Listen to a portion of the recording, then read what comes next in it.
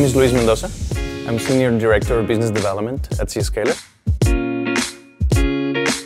At Zscaler, we help our customers in their digital transformation journey to the cloud and mobility. And we enable their employees to access the applications that they want to go to uh, securely, any destination of the internet, or any SaaS applications they want to use, as well as internal applications that are private and deployed on the, uh, the cloud environment, which could be infra infrastructure as a service or it could be platform as a service.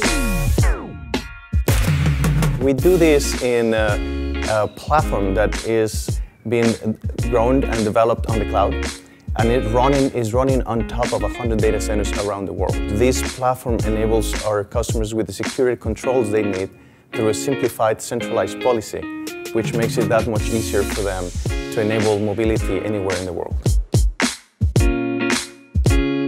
Our integration with MCAS is being done as something we refer to as a full loop integration. So what that means is we are, on the one hand, taking log files that we create as we manage 100% of the traffic going to the internet and SaaS applications. So we select the proper traffic and feed that through a function that we call Nanolog service that sits on Azure.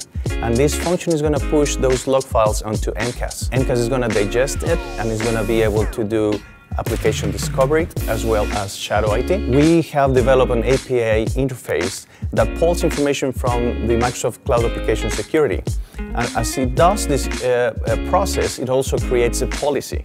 And the policy is really focused on uh, managing or preventing the access to the most risky applications that uh, MCAS has already discovered. So this is the full loop. In addition to that, we also have simplified the experience for the IT personnel as they are managing uh, the setting and also as they were seeing what's going on with those applications. Uh, they can come to our management console, see the status on any of those applications from a security perspective, and then they can also, with a single uh, click, uh, they can go into the MCAS management interface to go and discover additional information to it specifically relevant to our integration with Microsoft Cloud Application Security, it is also provided with the Azure Active Directory at a P1 level licensing. So that's all the customers need to get that implemented. On the other end, as we block and prevent access to risky applications, which is what we are uh, autom automating in the backend by doing a, an API pull in from MCAS, we also enable the customers to get that benefit.